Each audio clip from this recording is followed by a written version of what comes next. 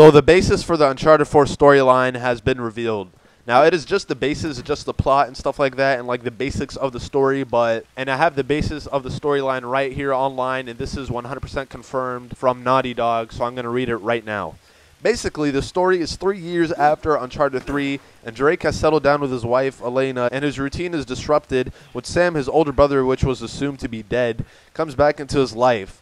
And Sam says that he must find a legendary pirate artifact as his life hangs in the balance. And just like that, with the promise of adventure and the opportunity to help a family member, Drake is back in. Their journey will take Drake and Sam to Libertalia, a mythical pirate colony in Madagascar. Now, though Naughty Dog said that the whole game's not going to take place only in Madagascar, and actually the source that they said that the game will also tease snow areas, like snow environments and urban areas. Now, this this is actually unconfirmed, but I can see it happening. And honestly, if we go back to snow areas like we did in Uncharted 2, I will be extremely happy. I loved the ice and snow in Uncharted 2. Let me just say, them graphics with the ice, what they did with the graphics, freaking amazing. I, I just loved that whole area of the game. It was really good. Also, Naughty Dog confirmed that Uncharted 4 will have a multiplayer. Not very surprising, but I am super excited for this multiplayer because if you guys didn't know, my favorite multiplayer of all time is Uncharted 2 multiplayer. It was so good. It was balanced. Like I, I loved it. Like it was true skill. No kill streaks. No BS. It was just you, your gun, and your aim, and your reaction time. Basically, it was you, your gun, and your skill. Like everything's balanced. There's no type of crutches or, or anything like that. Like if like if you're taking your beating, if you're dying a lot, then you're gonna die a lot. You have to like deal with your situation. You have to learn how to become good on your own in that game. There's no help basically. It's like pure skill. You know what I mean?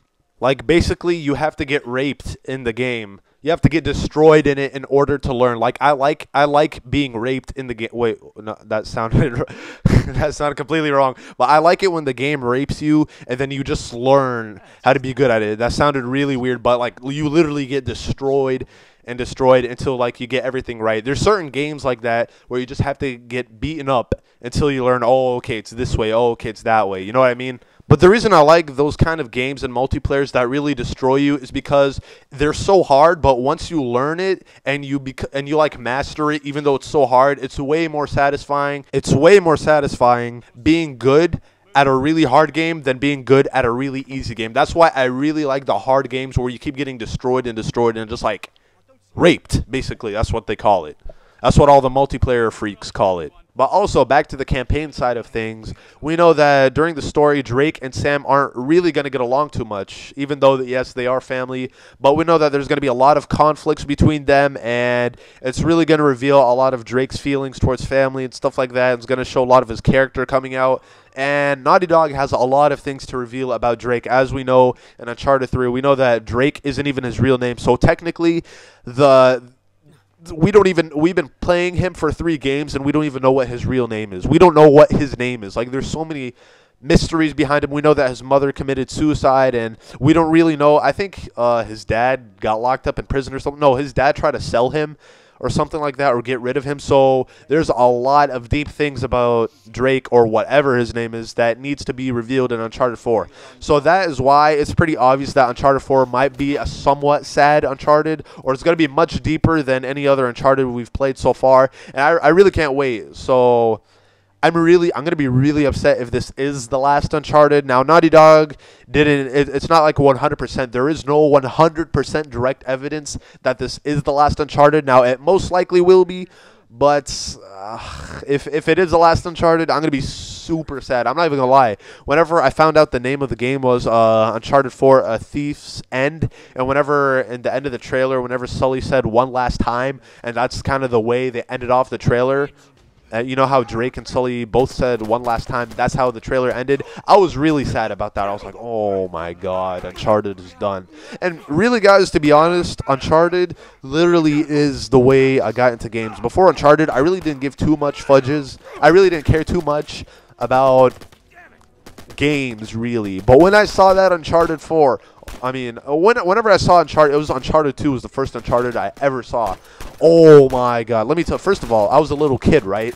And me seeing Uncharted 2 the way I did was the first time I saw anything of that graphical fidelity.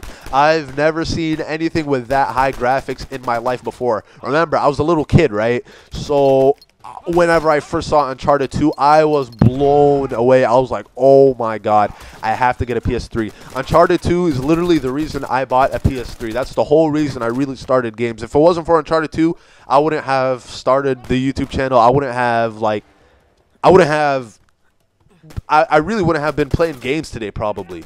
Like Uncharted 4 was really what got me to like, oh my god, dude, I have to like start playing games like these. Like Uncharted 4, I cannot wait. So yeah, guys, kind of a short video. I have another Uncharted video coming, and yeah, that's basically the basis of the Uncharted 4 story. It's gonna be, uh, you know, relationship with Drake and Sam. They go to Madagascar. They're looking for a legendary pirate treasure, and if they don't find it, basically Sam will get killed. That's the basis of the Uncharted 4 story from what we know. And yeah, I don't think I missed anything. Oh, also, we know that in the Uncharted 4 gameplay, um, we know that that takes place in South Africa because of the accents of the enemies. Now, in that part of the game, they might actually not be in Madagascar yet. They might be, because I don't think Madagascar is considered part of Africa. I'm pretty sure it's just its own separate island. So in that in that gameplay, they might be in Madagascar, but at the same time they might not be because the accents of the enemies are South African, and but maybe people in Madagascar have the same accent as South Africans, so I'm really not sure. So anyway, guys, hope y'all enjoyed that video. I got another Uncharted 4 video coming. I got a story time.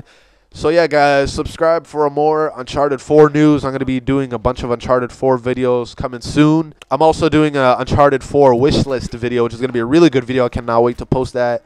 And some zombie stuff and Call of Duty zombie stuff. And yeah, guys, hope y'all enjoyed the video, and I'll catch y'all on the next one. Peace! In depth with the graphics. That the hairs on his chest are going to be moving around and wiggling around depending on how hard the wind is going to be blowing. Uh, now it's the, we adjust the diffuse, uh, the color of the eyes with just pupils.